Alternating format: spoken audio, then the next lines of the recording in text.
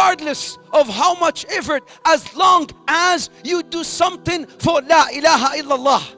The Prophet Muhammad always used to, you know, value the people who who who left a legacy, people who do something. As long as you do something, akhi, don't stand still. You do something, you move, make some efforts. You know, the Prophet one time he noticed some woman, an old woman. The only thing she used to do is clean the mosque.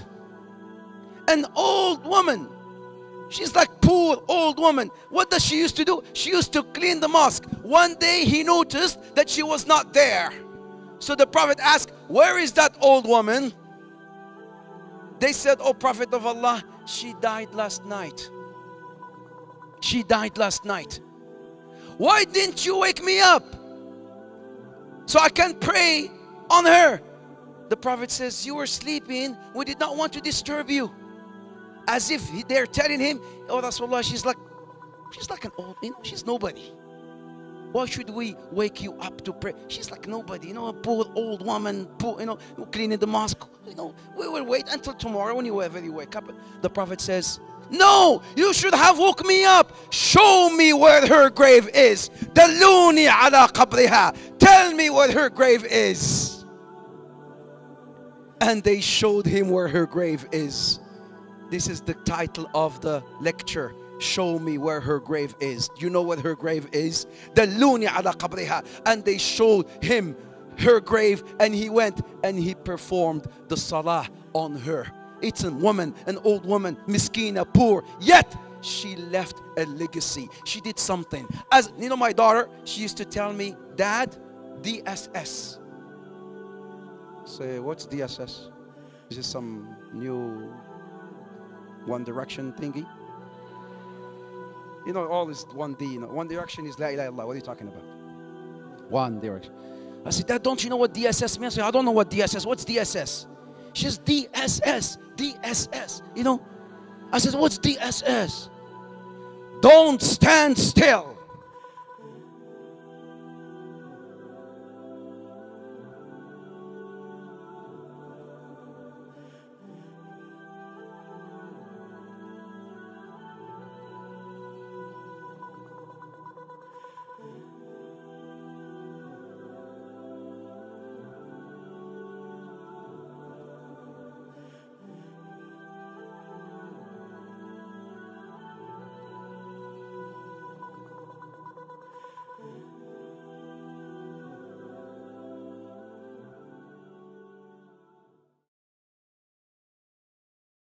رسول الله السلام عليكم ورحمة الله تعالى وبركاته يلا يلا يلا I need to hear some noise السلام عليكم ورحمة الله Are there any Moroccans in the house?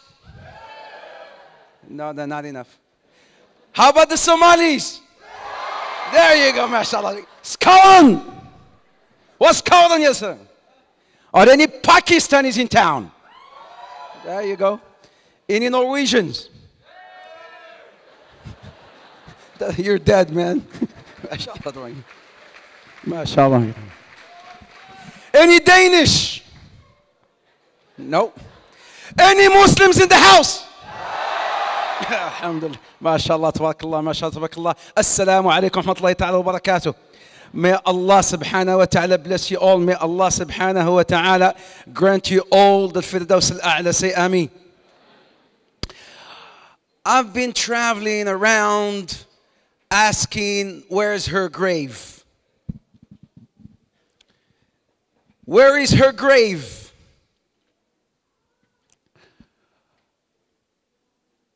You know, my brothers and sisters, that the Prophet Muhammad alayhi salatu wasalam was sent out to all mankind.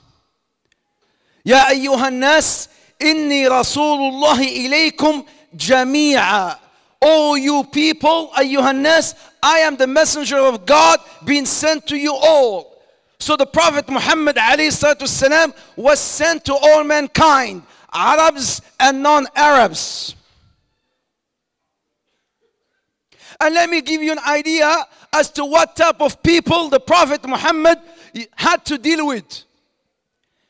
So I can connect it with the topic that we're going to be talking about today. The Prophet Muhammad sallallahu alaihi wasallam was sent to people who used to worship stones, rocks, um, animals, sun, moon, trees. It's been narrated by a man known as Abu Raja al-Ataridi. Abu Raja al-Ataridi, he said,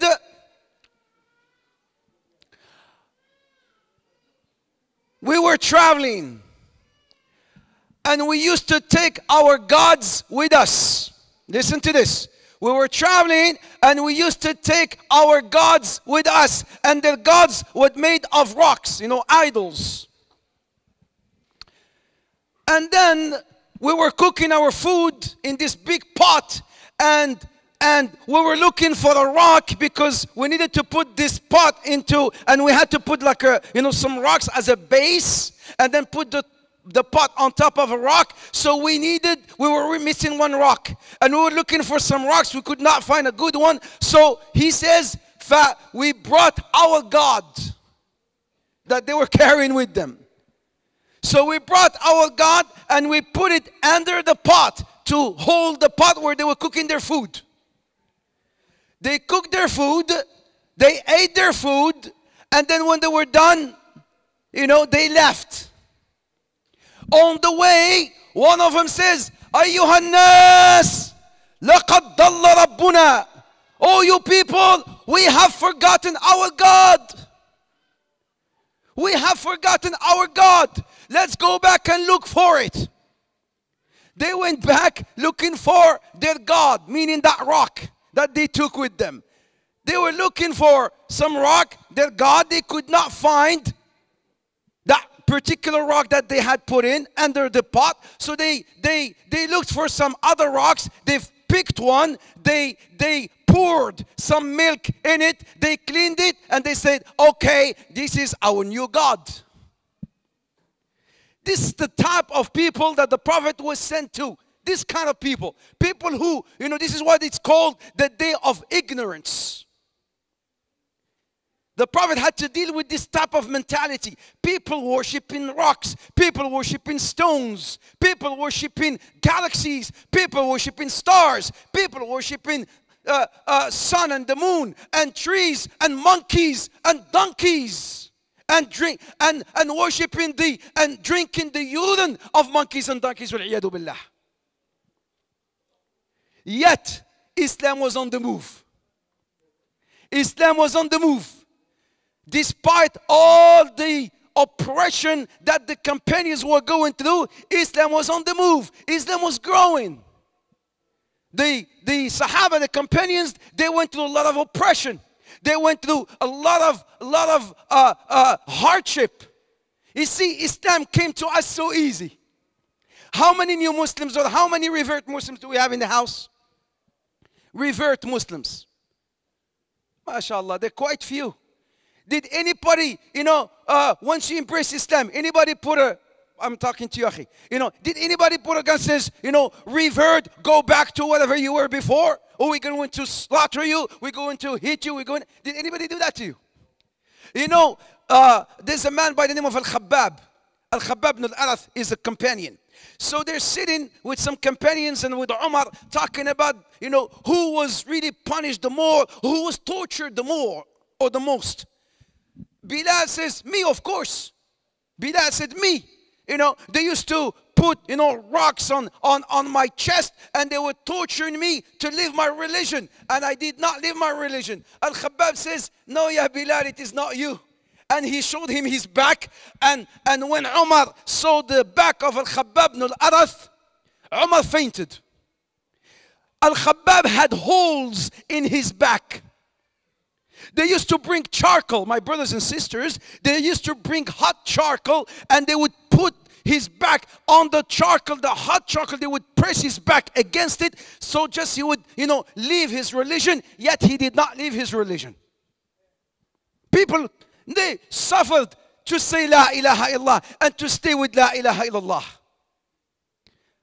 Umayyah bin Khalaf was torturing Sumayyah and her husband and her, and her son.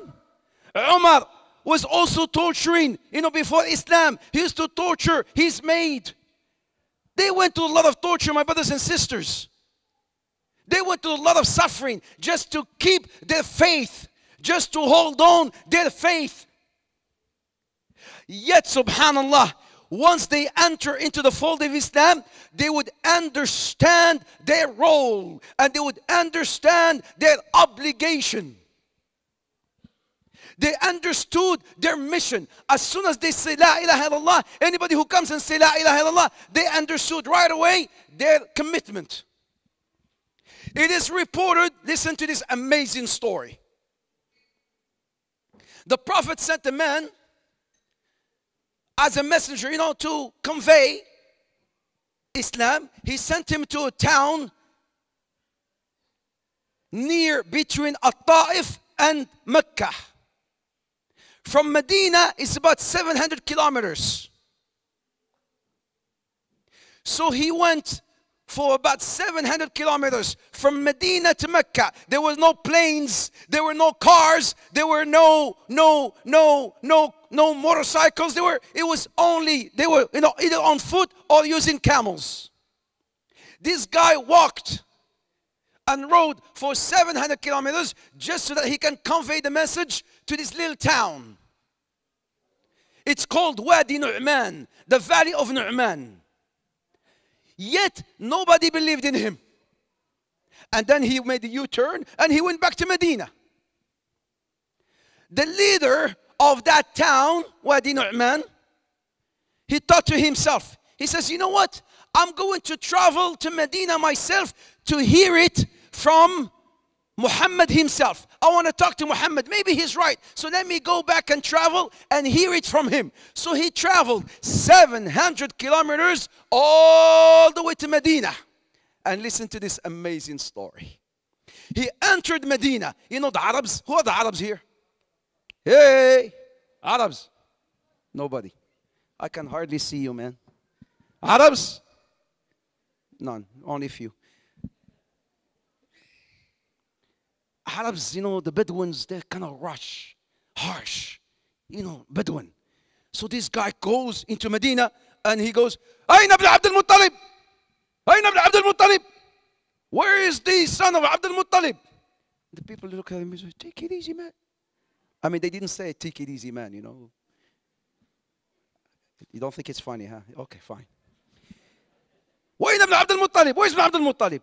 They said, He is in the masjid. So he goes inside the masjid. أين ابن عبد المطلب? Where is, يعني he's asking about Muhammad عليه الصلاة والسلام. Hey, where is the son of Abdul Muttalib? They said, he is there by the post. And the Prophet says, Ha um, I'm here. Ha um. So he goes to him, أين ابن عبد المطلب? The Prophet says, I am Ibn Abdul Muttalib. The man says, إني سائلك ومشدد عليك السؤال فلا تجد في قلبك he says, I'm going to ask you some questions and I'm going to be very harsh.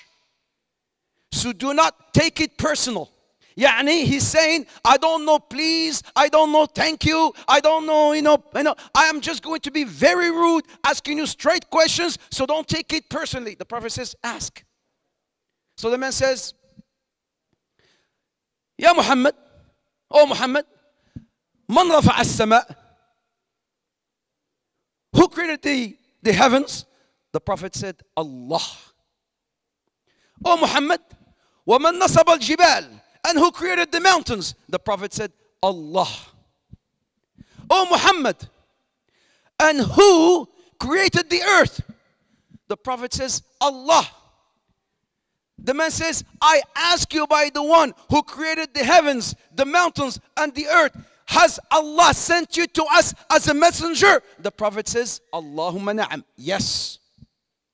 I ask you by the one who created the heavens, the earth, and the mountains. Has Allah asked you to ask us to pray five times a day? The Prophet says, Yes, Allahumma na'am. Has by I'm asking you by the one who created the heavens, the earth, and the mountains, has God, Allah, asked you to tell us to uh, uh, pay zakat and to fast Ramadan and to do the Hajj, the Prophet says, Allahumma na'am. Yes. Then the man says, the man says, I am the leader. Dirar. My name is Dirar. I am the leader of my tribe and I'm here to witness that there's no God worthy of worship but Allah, and you are the messenger of Allah. If I believe in you and I believe in Allah, would I enter Jannah? The Prophet says, Allahumma na'am. Yes. Allahumma na'am. If you believe in me and you believe in, in, in Allah and you believe in me and you do these five things that I've asked you to do, yes, you shall enter Jannah. And the guy, as soon as the Prophet Muhammad told him yes, he ran out of the masjid. You know, they used to have this long hair.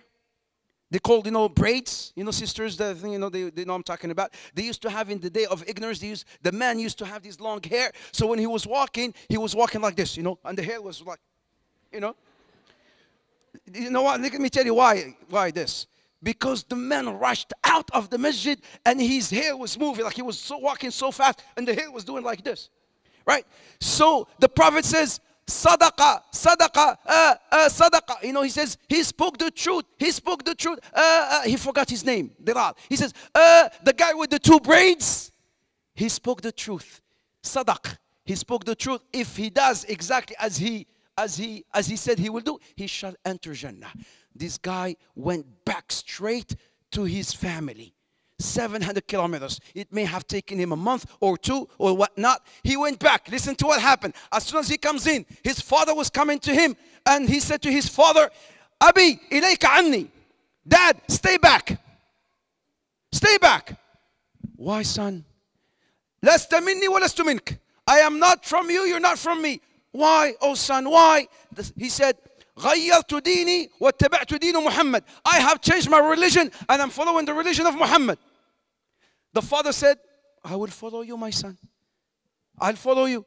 Then he says, Go, take a bath, come back, I shall teach you Islam. And then the mom comes to him. And then he tells his mom, Mom, ilayki anni. Mom, stay back. Why? I not from you, you're not from me. I changed my religion and I'm following the religion of Muhammad. And then the mom says, I'm with you, son. He says, Go take a shower, come back, let me teach you Islam. And then the wife comes in. I understand if the you know the father, you know the mother, yes. But this guy has not seen his wife for maybe two, three months. And then she's coming in, right? Huh? Huh? Uh, uh, uh, you know? What does he say? Does he uh, break the rules? No. إليك عني. Stay back. Why? Stay back. لست مني ولست منك. You're not from me, I'm not from you. Why? What did I do, honey? Mary Jam. She wasn't Pakistani, we just say Mary Jam. What did I do? Why? Stay back. I'm not from you, not from me. Why, honey? Why? You know, not honey. Didn't say she didn't say honey, but I'm saying. Uh, what, what?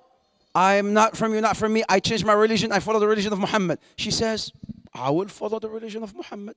He says, Go back, take a shower, come here. I shall teach you Islam. The narrator of the story, he says, By sunset, the entire town embraced Islam. They knew their responsibility. As soon as they said that commitment, that I have to live according to some rules.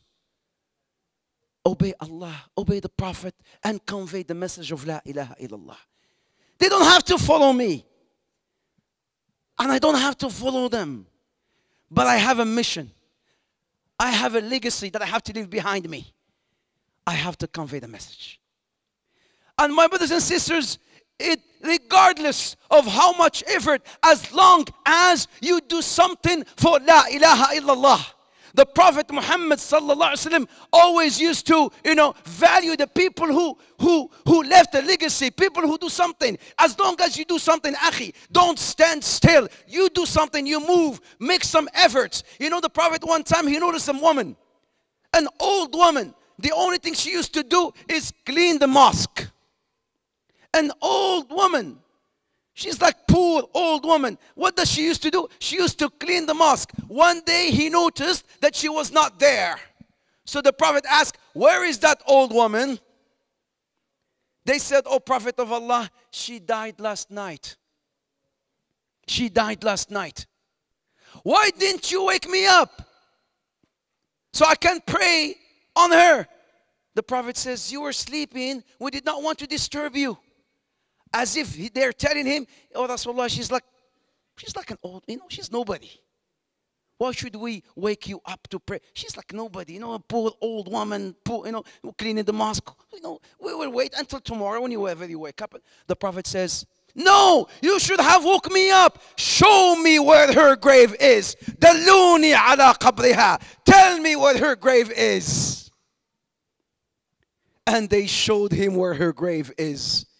This is the title of the lecture. Show me where her grave is. Do you know what her grave is? Dalluni ala. And they showed him her grave, and he went and he performed the salah on her. It's a woman, an old woman, miskina, poor, yet she left a legacy. She did something. As you know, my daughter, she used to tell me, Dad, DSS. Say, what's DSS? Is this some new One Direction thingy? You know, all is one D. You know, one Direction is La ilaha illallah. What are you talking about? One Direction. I said, Dad, don't you know what DSS means? I said, I don't know what DSS. What's DSS? She says, DSS, DSS. You know? I said, what's DSS? Don't stand still. Don't stand still. Yani just, just don't do, you know, move. Do something for Allah. Do something for La ilaha illallah. You cannot just go and pray and then, you know, there are a lot of people, your neighbors, your friends, people dying without La ilaha illallah. When I was in San Francisco, one guy came to the mosque, a Caucasian, white guy, blue eye. He came to the mosque and he told us, my father, he says to the masjid, you know, my father died yesterday. You people, none of you has ever come to our house or came and knocked at us and, and we're the neighbor of your mosque. Nobody has ever come to tell us about Islam. Yesterday, my father died. I will hold you responsible before Allah for not coming and telling us about Islam. We live in the masjid.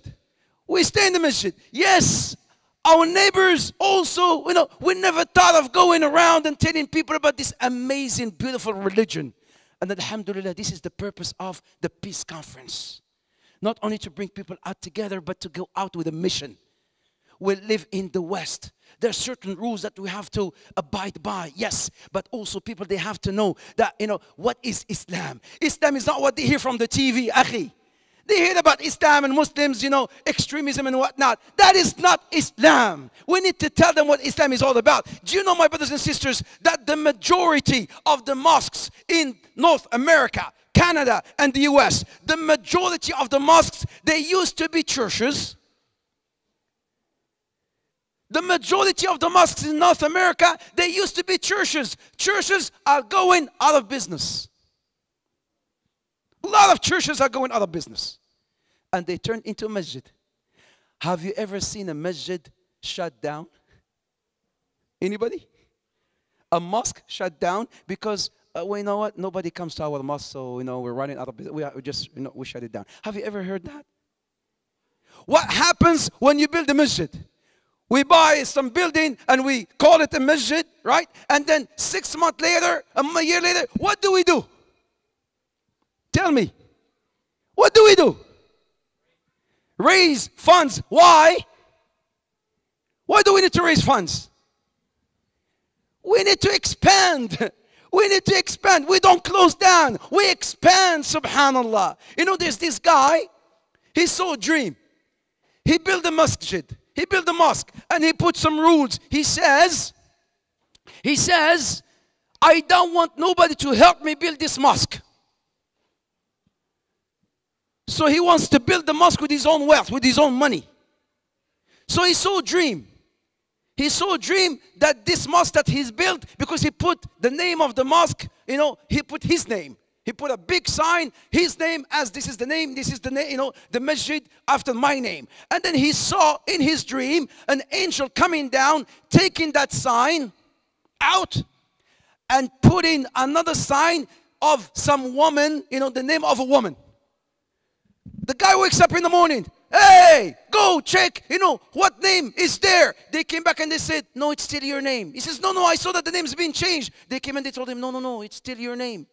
He goes back to sleep the same, you know, the second night, and then he sees the same dream. An angel coming down, taking that, that, that sign, you know, taking his name out, uh, erasing it, and putting the name of some woman. The guy wakes up again, very, very annoyed. Has anybody changed my name? Go back and check. They went, they checked, they came back says, No, your name is still there. It has not been changed. The third day, he has the same dream. The same dream. By now, he has memorized the name of this woman.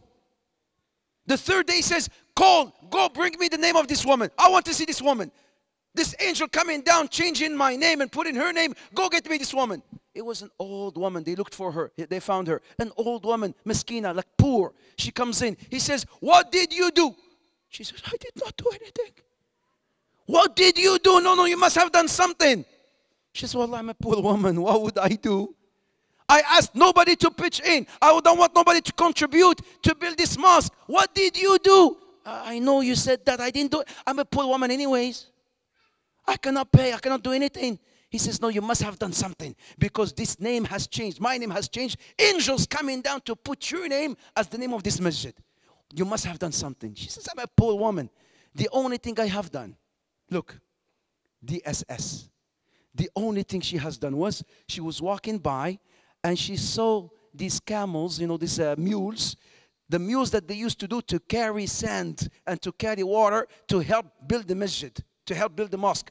And they and these camp and these mules they were you know leached you know there was a leech and they were standing by outside of the masjid and one of them was thirsty she was trying to get some water because there was a bucket of water next to it, you know, next to that mule, and this and this mule was trying to move her head and get close to that water. She was trying to drink and she couldn't. And this old woman, she saw her trying to get close to that to that bucket, and then what did she do? She says, "I only took the bucket of water and I gave it, put it close to her, so that that mule drank from it." That's all she did. She says, you did that for the sake of Allah. I wanted to build this mosque not for the sake of Allah, but you did it for the sake of Allah, and He changed that name of the masjid after her name because of this little, you know, trivial thing that she has done for the sake of Allah subhanahu wa ta'ala. My brothers and sisters, would you believe? Would you believe that a prostitute, a prostitute with all due respect, a woman from the children of Israel, the children of Israel. She was forgiven and entered Jannah because she watered a dog. She watered for a dog. A dog, a woman, an old woman, she comes in, you know, she goes into this well, she drinks from the well, she comes up from the well, and then she found because her clothes were wet, and then she was walking, and her clothes were dripping water, and this dog who was thirsty was going and trying to drink from that water because he was really thirsty, so he was eating the dust. She saw the dog being thirsty, she went down into that well, and then she took her shoes she took her shoes, she filled them with water, and then she went up the well and she watered the dog. Our prophet says, Allah forgave her and made her enter Jannah. She watered a dog. She did not water a human being. There are people today who are opposing you know this this the people today who are dying off of thirst in gaza in palestine because they could not get clean water. Clean water. Why the clean water? Because the Muslims who are living next door, they put, uh, uh, uh, uh, you know, they did not let the water go through. They put some some restrictions or whatnot. There are people only they want water. This woman, Allah forgave her and made her enter Jannah because she watered a dog.